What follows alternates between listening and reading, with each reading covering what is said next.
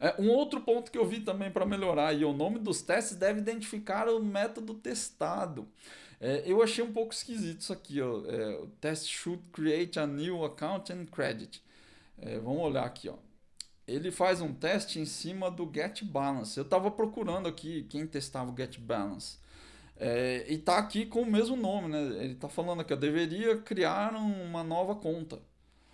É, esse teste aqui ele tá com um nome esquisito. É, o, teste ele precisa direcionar para aquilo que ele testa. Então, de novo, separar. Se você separar aqui a criação da conta dos outros testes, isso fica mais natural. É, a criação da conta é uma coisa, você vai testar. Should create a new account. Beleza.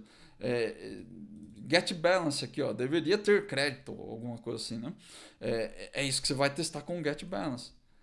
Ou deveria ter débito, tá vendo? Mas o, o nome de todos os métodos aqui, eles têm é, should create a new account, ou not should create. É, será que todos os métodos de teste deveriam ter esse nome? É, porque quais deles testam criar uma nova conta, e especificamente né, criar a nova conta, e quais deles testam outras coisas que envolvem a criação de uma nova conta? É, então, é, o teste ele precisa te direcionar, o nome do teste né, precisa direcionar para aquilo que você faz, senão fica difícil de entender. O teste é quase como uma documentação de como usa o seu código né, de como usa o seu módulo, de como usa a sua classe. Então, se, se você não direciona essa documentação para o nome certo, fica difícil encontrar as coisas. Para eu achar o teste do getBalance, eu tive que dar um find aqui. E aí eu vi que estava testando aqui nesse, é, nesse mesmo módulo de teste. Mas o nome não ajuda, né? Should create a new account and debit. Não, não é and debit. Ou ele cria nova conta, ou ele verifica se tem débito.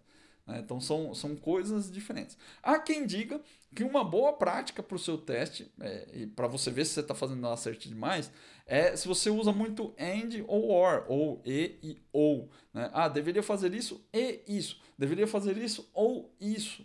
É, é, é um indicador, sim. Se você tem muito e ou, é, provavelmente você está fazendo teste demais aqui. É, às vezes sim, às vezes não, né? mas é um indicador, é uma coisa para você olhar, observar e ver se é, realmente não está fazendo coisas demais.